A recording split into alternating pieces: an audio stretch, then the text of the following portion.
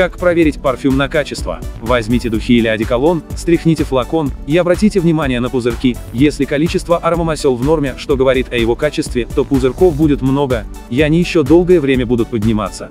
На следующее утро вы должны выйти на работу, и как назло у вас отключили воду, газ, нет горячей воды, а вы страдаете жирностью волос и вам стыдно в таком виде выходить на улицу.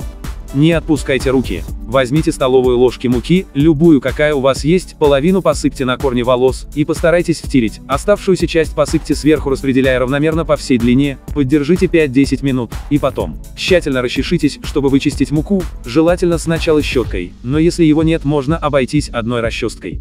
Делать все это желательно над ванной или раковиной. Мука впитает кожное сало и ваши волосы станут чистыми. Перхоть – еще одна неприятность, которая может вас мучить на протяжении долгого времени. В аптеках можно приобрести лечебные шампуни, но есть одно средство, благодаря чему вы можете избавиться от этой напасти. Для этого надо добавить один измельченную таблетку аспирина на 10 мл шампуня, желательно на растительной основе.